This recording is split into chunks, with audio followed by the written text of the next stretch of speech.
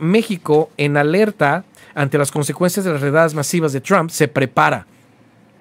México ya se está preparando porque ahí no nada más avientan a todos los mexicanos, sino a todos los centroamericanos, a todo el que no tenga papeles, lo avientan a México. Y tengo un, un este, reporte aquí que están a 100 inmigrantes por día, a 100 personas por día que están saliendo en Matamoros, no tengo lo que es en, uh, en Tijuana y en otras fronteras, pero en Matamoros, exacto. Las cifras son 100, o si ahí son 100, imagínate la cifra en los otros lados, si son la misma cantidad, estamos hablando de más de 500 personas diarias que están sacando del país. Y el gobierno de México se está poniendo las pilas también aquí en Estados Unidos para ayudar a todo aquel que lleguen a detener y tengan y pidan ayuda de un abogado eh, si son mexicanos, no he visto las otras embajadas, pienso que están haciendo lo mismo, pero si son mexicanos hay un grupo de 400 abogados que ya están asistiendo a la gente por medio de los consulados para poderlos apoyar y ver cómo es posible de que se queden aquí en el país.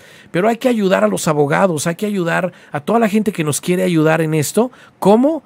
Revisando nuestros antecedentes penales, viendo que están limpios, porque es lo primerito que va a haber emigración para sacarnos de este país. No dejes que ellos te lo revisen.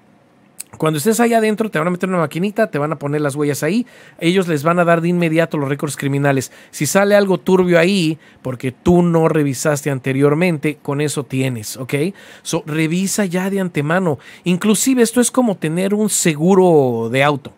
Tú compras un seguro de auto, no porque vas a chocar, ¿verdad? Pero por si pasara ese incidente. Esto es igual, revisa tus antecedentes penales solamente por prevención. Si llegara a pasar algo ya sabes que estás limpio.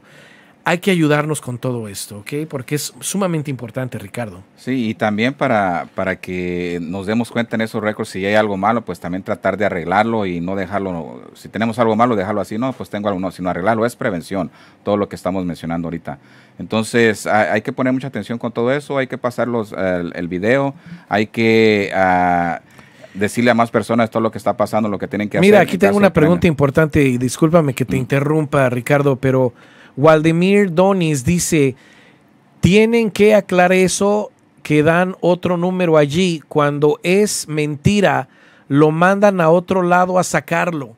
Eh, no sé a dónde haya sido Waldemir, no creo que haya sido ayudando a la comunidad porque aquí es donde tenemos un equipo exclusivo de CPAs que se encargan de ayudar a nuestra gente a obtener ese número despegándote también de ese seguro social que tienes. O es aquí, me gustaría que mandaras un inbox, te voy a mandar un mensaje personal para que me digas quizás a dónde fuiste y dónde te dijeron que tenías que ir a otro lado y, y tenemos que tener mucho cuidado con nuestra comunidad también. Por eso no, por eso tenemos que ser cautelosos y que nadie me los vaya a defraudar que nadie vaya a decirles a ustedes, oh, mira, es un número mágico y te lo vamos a mandar, vete por acá, ya te lo van a dar.